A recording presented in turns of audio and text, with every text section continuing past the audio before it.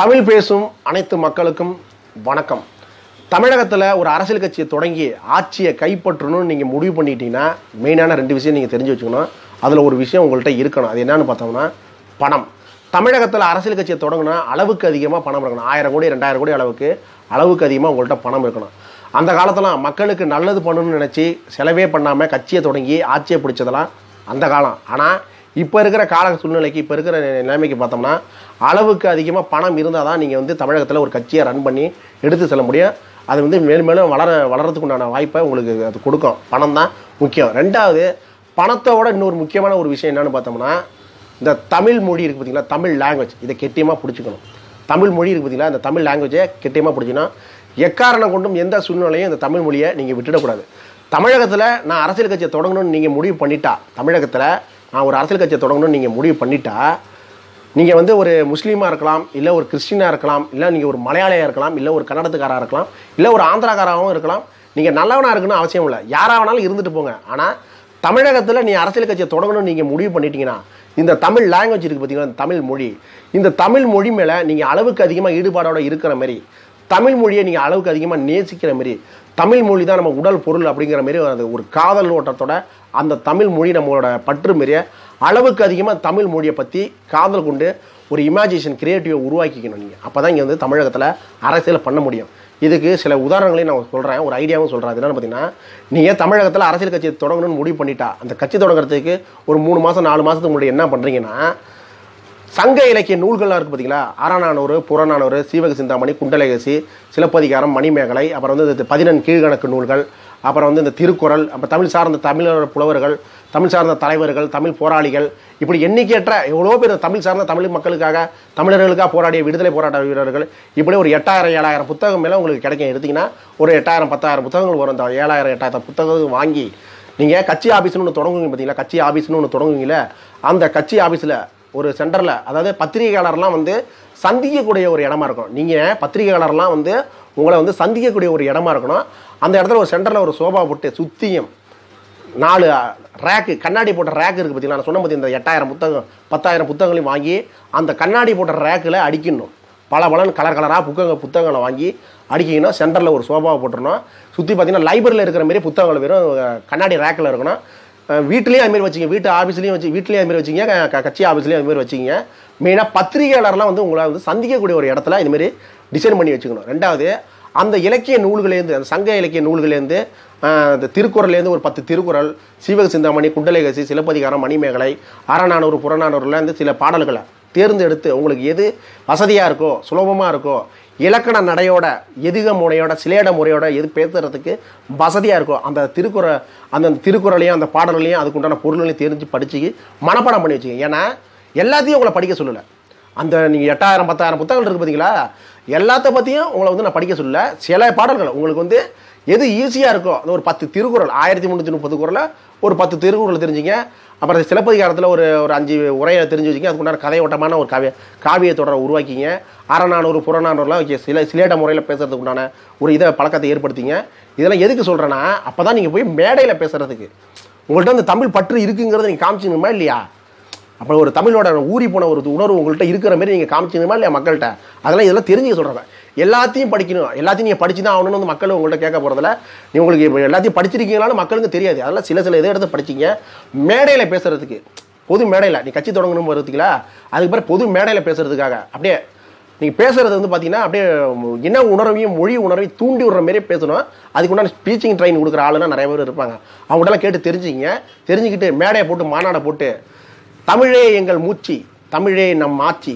உடல் பொருள் ஆவி எல்லாமே தமிழ் தான் நாம் தமிழர் பச்சை தமிழர் கருப்பு தமிழர் சொல்லி அப்படியே மக்களோட இந்த தமிழக மக்கள் என்ன உணர்வு அப்படியே தூண்டி விடுற மாரி அப்படியே தூண்டி விடணும். பேசுகிற பேச்சை பார்த்தீங்கன்னா அப்படியே அவனுக்கு அப்படியே சில்லுட்டு போய் ம் அப்படின்னு நிற்கிறனுடைய என்ன உணர்வை தூண்டி விட்டு அப்படியே அவன் நம்ம சில்லுத்து போனோம் அதுமாரி அந்த இதில் வந்து அவனை பிரச்சனைகளை தூண்டி விடுற மாரி அவனை பேசி பேசிட்டிங்கன்னா நீங்கள் இன்னும் அஞ்சு தலைமுறைக்கு நீங்கள் தொடங்கிய கட்சியை எந்த கும்பனாலையும் அழிக்க முடியாது. இதுக்கு ஒரு நல்ல உதாரணம் எந்த கட்சின்னு பார்த்தோம்னா திமுகவை சொல்லலாம். திமுகவை சேர்ந்த பல பேர் பார்த்தீங்கன்னா அந்த வாய் சொல்லில் வீரண்டியாக இருப்பாங்க. அதாவது வாயால் வட சொல்றது இந்த இலக்கண நடையோட பேசுறது பேசி பேசிய கிட்டத்தட்ட எழுபது வருஷமா தமிழக மக்களை ஏமாத்தின ஒரு கட்சி எதுன்னு பார்த்தோம்னா அது வந்து திமுக தான். கிட்டத்தட்ட ஆயிரத்தி தொள்ளாயிரத்தி நாற்பத்தி ஒம்போதுலேருந்து இன்னைய காலகட்டம் வரைக்கும் எழுபது வருஷமா தமிழக மக்களை தமிழ் மொழி பெயரை சொல்லி இன்ன வரைக்கும் ஏமாத்திட்டு இருக்கிற ஒரு கட்சி எதுன்னு பார்த்தோம்னா அது வந்து திமுக தான். இன்ன வரைக்கும் பேசிட்டு இருக்காங்க. அதாவது இன்றைய காலகட்டத்து இளைஞர்கள் தமிழ் மொழி பேசுவதற்கும் எழுதுவதற்கும் தமிழ் மொழி அழியாமல் இருக்கிறதுக்கு காரணமே நாங்கள் தான் அதாவது இந்த சங்க இலக்கிய நூல்களாக இருக்குது பார்த்தீங்களா த- சங்க இலக்கிய நூல்கள்.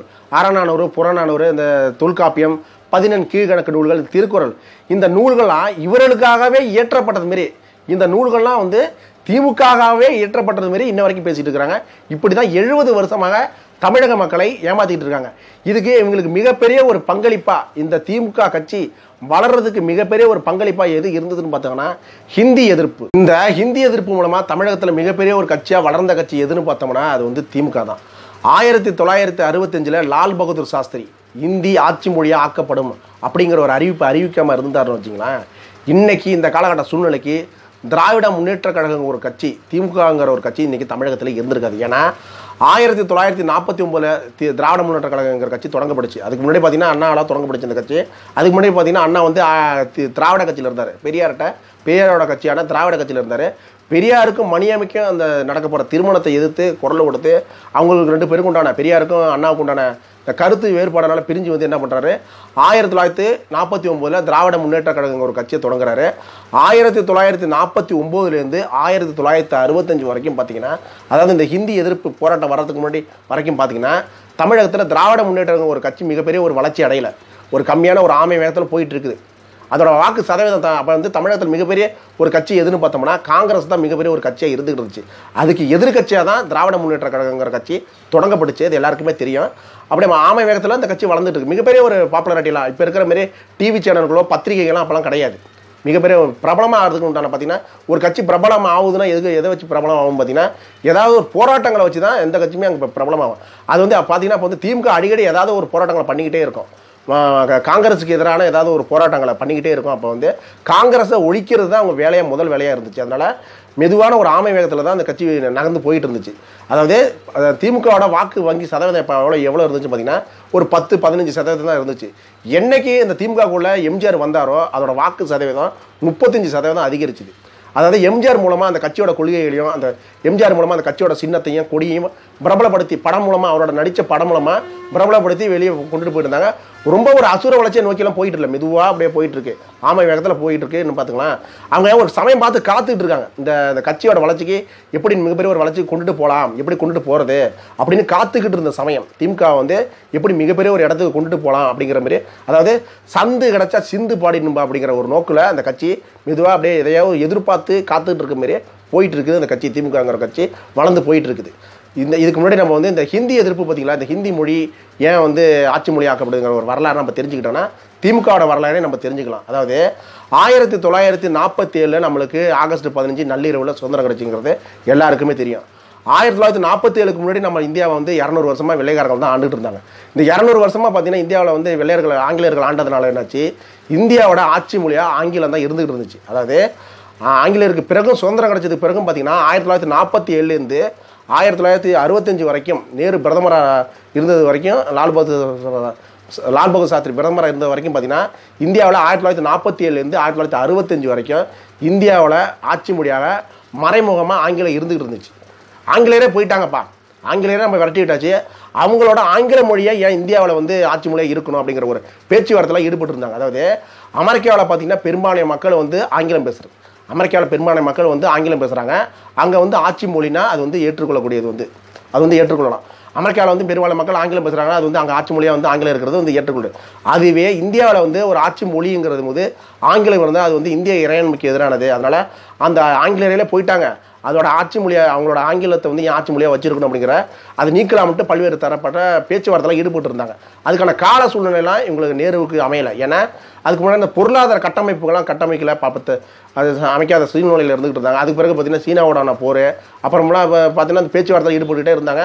அதுக்கு பிறகு நேரு மறைவுக்கு பிறகு லால் பகதூர் சாஸ்திரி வந்து பிரதமர் ஆகிறாரு ஆயிரத்தி தொள்ளாயிரத்தி அறுபத்தஞ்சில் ஒரு அறிவிப்பு விடுறாரு லால் பகதூர் சாஸ்திரி பிரதமர் ஆனதுக்கு பிறகு ஆயிரத்தி தொள்ளாயிரத்தி அறுபத்தி அஞ்சு ஜனவரி இருபத்தி ஆறாம் தேதி அதாவது குடியரசுத் தினத்தன்னைக்கு ஒரு அறிவிப்பை வெளியிடுறாரு. என்னன்னு பார்த்தீங்கன்னா இந்தியாவில் இது வரைக்கும் நல்லா கேட்டுக்குங்க இந்தியாவில் இதுவரைக்கும் ஆட்சி மொழியாக இருந்த ஆங்கிலத்தை நீக்கிவிட்டு இந்தியாவில் இதுவரைக்கும் இருந்த ஆட்சி மொழியான ஆங்கிலத்தை நீக்கிவிட்டு இந்தியாவில் பெரும்பாலான மக்கள் பேசக்கூடிய ஹிந்தி மொழியான ஹிந்தியை ஆட்சி மொழியாக ஆக்குவோம் அப்படிங்கிற ஒரு அறிவிப்பை விடுறாரு.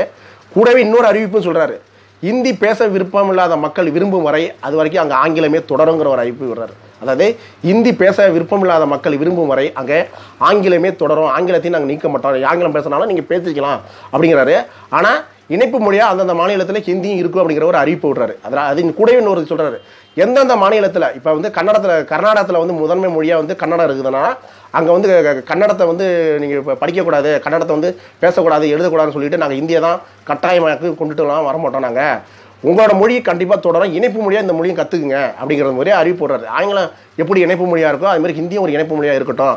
உங்கள் மாநிலத்தில் எதோ முதன்மை மொழியாக இருக்கோ அந்த முதன்மை மொழியிலே அந்தந்த சட்டத்திட்டங்கள் இருக்கட்டும். ஆந்திராவில் வந்து முதன்மை மொழியாக வந்து தெலுங்கு இருந்துச்சுன்னா நாங்கள் வந்து தெலுங்கை பேசக்கூடாது. ஹிந்தி தான் பேசணும் அப்படின்னு நாங்களாம் சொல்லலை. அங்கே முதன்மை மொழியாக ஹிந்தி தெலுங்கு இருக்கட்டும். இணைப்பு மொழியாக ஆங்கிலமும் ஹிந்தியும் இருக்கட்டும் அப்படிங்கிற மாதிரி ஒரு அறிவிப்பு விடுறாரு இதை இதை இதை தான் காத்துக்கிட்டு இருந்தாங்கன்னு சொன்னால் பார்த்தீங்களா சமயம். அந்த கட்சியோட வளர்ச்சிக்கு திமுகவோட வளர்ச்சிக்கு எப்படி ஒரு சம அவன் வேகத்தில் போயிட்டு இருந்து பார்த்தீங்களா அந்த கட்சியோட வளர்ச்சி? இதை எப்பெல்லாம் பிரபலப்படுத்தலாம்னு காத்துக்கிட்டு இருந்தாங்க பார்த்தீங்களா இந்த ஹிந்தி மொழி ஆட்சி மொழியாக ஆக்கணும். இந்தியா போலவும் எல்லா இடங்களையும் வரவேற்பு. ஹிந்தி ஆட்சி மொழியாக ஆக்கப்படுங்கிற அந்த இதுக்கு வந்து இந்தியாவில் இருக்க பல்வேறு மாநிலங்களை பலத்த வரவேற்பு. ஆனால் தமிழகத்தில் மட்டும் இங்கே வந்து என்ன பண்ணாங்கன்னா திமுக நான் சொன்ன பார்த்தீங்கன்னா அந்த கட்சியோட வளர்ச்சிக்காக ஏதோ ஒரு பிடிச்சி காத்துக்கிட்டு இருக்குன்னு சொன்னதுல இந்த ஹிந்தி ஆட்சி மொழியாக்கங்கிற காரணத்தை லபக்குன்னு பிடிச்சிக்கிட்டாங்க. ஏன்னா அவங்க கட்சிக்கு கட்சிக்கு ஒரு விளம்பரம் தேவை. கட்சியை மிகப்பெரிய இடத்துக்கு போராட்டி மக்களை தூண்டி விட்டு இதை போராட்டம் பண்ணுங்கிறதுக்காக லவக்கனை பிடிச்சிக்கிட்டு என்ன பண்ணாங்க அப்போ வந்து பார்த்தீங்கன்னா தமிழகத்தில் வந்து இந்த பெரிய மிகப்பெரிய டிவி சேனல்களோ மீடியாக்கெல்லாம் கிடையாது. தலைவர்களை தான் மக்கள் நம்பினாங்க. தமிழகத்தில் இருக்கிற பெரும்பாலான மக்கள் வந்து தலைவர்களை வந்து நம் நம்பினாங்க. அவங்க பேசுனா எது பேசுனாலும் உண்மையாக இருக்கும் அப்படிங்கிறத வந்து நம்பி அவங்க எது சொன்னாலும் உண்மையாக தான் இருக்குங்கிறத நம்பி என்ன பண்ணாங்க? இதை வந்து திமுக தனக்கு சாதகமாக பயன்படுத்திக்கிட்டு இந்த மக்களோட அறியாமையை வந்து மக்கள்கிட்ட வந்து அறியாமையை வந்து தனக்கு சாதகமாக பயன்படுத்தி பொய் பரப்புரை பண்ணினாங்க. என்னன்னா ஹிந்தி மொழி இங்கே வந்துச்சுன்னா யாருமே இங்கே வந்து யாருமே வந்து ஹிந்தி மொழியை வந்து படிக்கணும்னு சொல்கிறாங்க தமிழ் படிக்கக்கூடாது. ஹிந்தி வந்து முதன்மை மொழியாக இருக்குன்னு சொல்லி ஹிந்தி தமிழே படிக்கக்கூடாதுன்னு சொல்கிறாங்கன்னு பொய்யான ஒரு பரப்புரை பண்ணி இந்த இணைப்பு மொழிங்கிற வார்த்தையை அவங்க சொல்லலை. இந்த உண்மையான காரணங்களை வந்து தமிழக மக்களுக்கு எடுத்து சொல்லாமல் அப்படியே இந்த ஹிந்தியை வந்து எதிர்த்து எதிர்த்து என்ன பண்ணாங்க? சரி தமிழை ஒழிச்சிட்டு ஹிந்தி படிக்க சொல்கிறாங்கன்னு மட்டும் இங்கே தமிழகத்தில் பெரும்பாலும் மக்கள் நினச்சாங்க. அதனால் ஹிந்தி மொழி எதிர்ப்பு இங்கே மிகப்பெரிய ஒரு கலரமாச்சு மிகப்பெரிய ஒரு போராட்ட கூடங்களை தூண்டிவிட்டு மாணவர்களையும் மக்களை தூண்டிவிட்டு மிகப்பெரிய ஒரு ரணகலமாச்சு அப்போட காமராஜரோட சொன்னார் எப்பா ஹிந்திய மொழியான இந்திய நீ வேணாங்கிற ஹிந்தி வேணான்னா அங்கே வந்து ஆங்கிலம் வந்து உட்காந்துக்குமேப்பா அப்படின்னு சொன்னாங்க. லா காமராஜர் அதை தான் சொன்னார் பக்தவசலம் அதை தான் சொன்னார். அதாவது இந்திய மொழியான ஹிந்தி வேணாங்கிற ஆனால் அந்நிய மொழியான நீ ஹிந்தி வேணான்னா அந்நிய மொழியான ஆங்கிலம் உள்ளே வந்துடும் அதனால நம்ம இங்கே இருக்கிற மாணவர்கள் படிக்கிற இளைய தலைமுறை மாணவர்களுக்கெல்லாம் மிகப்பெரிய ஒரு பாதிப்பை உண்டாக்கிறோம் அப்படின்னு சொல்லி இவர் காமராஜர் வந்து பக்தவசன்லேருந்து பல முறை குரல் கொடுத்தாங்க. இருந்தாலும் திமுக என்ன முன்னிறுத்தி பார்த்தா, இந்திய இந்தி தமிழை ஒழிக்கிறதுக்கு காமராஜரும் பக்தவசலும் துணை புகிறாங்கன்னு பொய் பரப்புரைகளை பண்ணி பண்ணி அவரை வந்து தேர்தலில் தோக்கடிச்சாங்க. யாரை? காமராஜரை தோக்கடிச்சாங்க. இன்ன வரைக்கும் காமராஜரை தோக்கடிச்ச அந்த இது இன்ன வரைக்கும் நம்ம மக்கள் வந்து இன்ன வரைக்கும் அந்த துன்பத்தை அணிஞ்சிக்கிட்டு தான் இருக்கிறாங்க. இது மக்கள் நல்லா புரிஞ்சுக்கணும். திமுக என்ன மாதிரி ஒரு கட்சியாக விஸ்வரூபம் எடுத்துங்கிறது இந்த நாடகத்தை நீங்கள் கடந்த காலங்களை எடுத்து படிச்சீங்கன்னா உங்களுக்கு மிகப்பெரிய இந்த நாடகம்லாம் தெரியும். இந்த ஹிந்தி எதிர்ப்பு மூலமாக திமுகங்கிற கட்சி எப்படி ஒரு பொய்யான பரப்புரை பண்ணி எப்படி மக்கள்கிட்ட கொண்டு சொன்னுங்கிறத இதை நீங்கள் வந்து தெரிஞ்சுக்கணும். திமுகவின் இந்த இந்தி மொழி எதிர்ப்புனால அதாவது தமிழகத்துக்குள்ளே நாங்கள் இந்தி அனுமதிக்க மாட்டோம் தமிழக ஏழை மாணவர்களை இந்தி கற்றுக்க நாங்கள் விட மாட்டோம்னு சொன்னதுனால அதனால் என்ன மாதிரியான ஒரு நன்மைகள் ஏற்படுச்சுன்னு பார்த்தோம்னா எந்த விதமான நன்மைகளும் ஏற்படவில்லை. அதனால் தீமைகள் தான் ஏற்பட்டுச்சு. அது என்ன மாதிரியான தீமைகள் பார்த்தோம்னா வட மாநிலத்தில் இருக்கிற மிகப்பெரிய மத்திய அரசு நிறுவனங்களையும் மிகப்பெரிய தனியார் நிறுவனங்களையும் அதுமாதிரி தமிழகத்தில் இருக்கிற மத்திய அரசு நிறுவனங்களையும் தனியார் நிறுவனங்களையும் வந்து தமிழக மாணவர்கள் வந்து புறக்கணிக்கப்பட்டார் அவங்களுக்கு வந்து வேலைவாய்ப்பு கிடைக்காம போயிடுச்சு எதனாலனா அவங்க வந்து ஹிந்தி மொழியை வந்து இணைப்பு மொழியை எடுத்து கற்றுருந்தாங்கன்னு வச்சுக்கலாம் அங்கே வந்து வேலைவாய்ப்பு கிடைச்சிருக்கும். அவன் தமிழும் ஆங்கிலம் கற்றுக்கிறதுனால என்ன சில பேர் விவரம் இருக்கிறவன் தப்பிச்சுக்கிட்டான். அதாவது பணம் இருக்கிறவன் தப்பிச்சிட்டான் எப்படி பார்த்தீங்கன்னா ஆங்கிலமும் தமிழ் தெரிஞ்சுக்கிட்ட பணக்கார மாணவர்கள் என்ன பண்ணுவாங்க?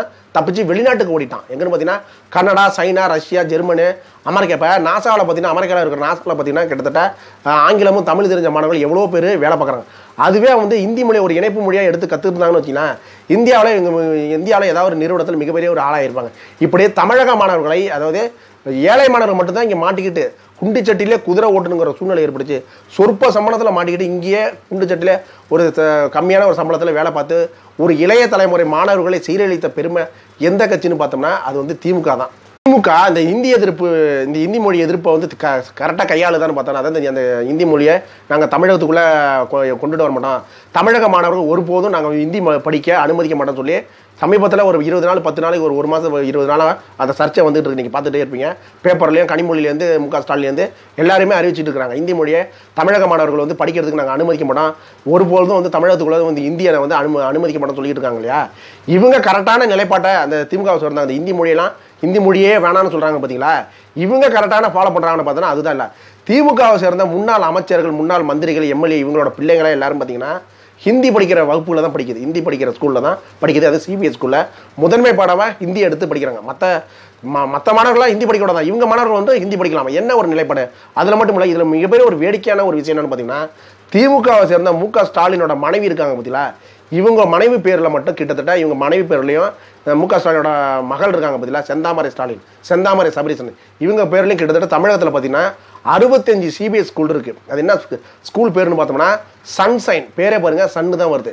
Sunshine matriculation school sunshine high secondary school sunshine international school sunshine nursery school இப்படியே இதில் பார்த்தீங்கன்னா இந்த ஸ்கூல்லலாம் பார்த்தீங்கன்னா முதன்மை பாடமாக ஹிந்தி கற்றுக் கொடுக்கப்படுது. ஏன்? ஹிந்தியே வேணாங்கிறீங்க தமிழகத்துக்குள்ளே ஹிந்தியே அனுமதிக்க மாட்டேன்னு சொல்கிறீங்க நீங்கள் நடத்தக்கூடிய ஸ்கூல்லயே நீங்கள் நடத்தக்கூடிய வகுப்பில் மட்டும் ஹிந்தியை முதன்மை பாடமாக ஏன் நடத்துறீங்க?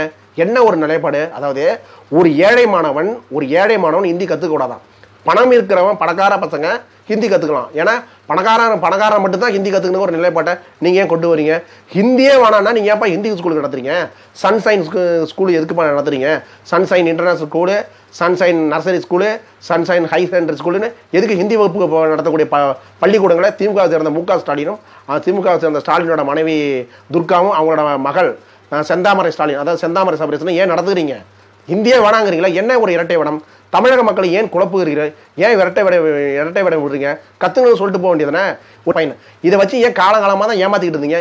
இனிமே வர தலைமுறையை வந்து ஏன் ஏமாத்துறீங்க? நல்லா புரிஞ்சுங்க. மக்களே இப்போ இருக்கிற பெற்றோர்களை நல்லா புரிஞ்சுக்கக்கூடிய விஷயம் திமுகங்கிற ஒரு கட்சி என்ன மாதிரி ஒரு கட்சிங்கிறத தெரிஞ்சுங்க. இனிமையாவது உங்கள் பிள்ளைகளை நீங்களாவது உங்கள் தலைமுறையை வந்து ஹிந்தி கற்றுக்காமல் நம்மளாம் வீணாக போயிட்டோம் இனிமையாவது நம்ம பிள்ளைகளை இந்தி மொழியை இணைப்பு மொழியாக கத்துக்கிறதுனால எந்த விதமான தப்பு நடந்துராது ஆங்கிலம் எப்படி இணைப்பு மொழியாக கத்துக்கிறோமோ அது மாதிரி ஹிந்தியும் இணைப்பு மொழியாக கத்துக்கலாம். அதனால நீங்க ஒருபோது ஹிந்தி கத்துக்கிறதுனால தமிழ் அழிஞ்சிடாது எந்த கும்பனாலையும் எவனாலையும் தமிழ் மொழியை அழிக்க முடியாங்கிறத புரிஞ்சுங்க.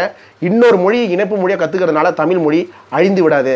இதனால நீங்க வந்து திமுகங்கிற ஒரு கட்சியை பத்தி நல்லா புரிஞ்சுங்க. என்ன மாதிரி ஒரு நாடகத்தை இப்படி இல்லை எழுபது வருஷமாக இந்த மொழி பெயரை தமிழ் மொழியை அரசியலுக்காக வியாபாரமாக்கி அதை வந்து அரசியல் சாயம் பூசி அது கட்சி நடத்துறதுக்காக இந்த தமிழ் மொழியை வச்சுக்கிட்டு இந்த ஹிந்தி மொழியை எதிர்ப்பை காமிச்சிக்கிட்டு கிட்டத்தட்ட எழுபது வருஷமாக பேசி பேசி தமிழ் இனம் தமிழ் உணர்வு அப்படி சொல்லி இன உணர்வையும் மொழி உணர்வை தூண்டி விட்டு காலங்காலமாக நம்ம நம்மளை வந்து எழுபது வருஷமாக நம்மளை வந்து ஏமாத்திட்டு இருக்காங்க. இனிமேவாவது நம்ம வந்து விழிப்புணர்வு இருப்போம்.